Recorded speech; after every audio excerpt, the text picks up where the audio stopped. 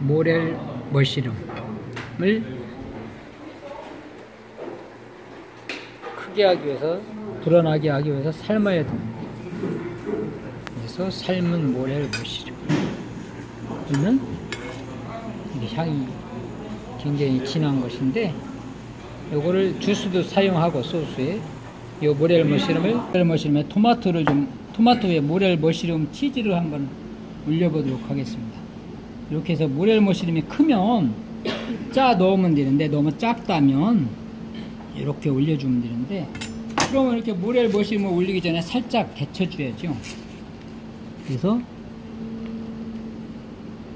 치즈를 이렇게 쭉 올리는 거지.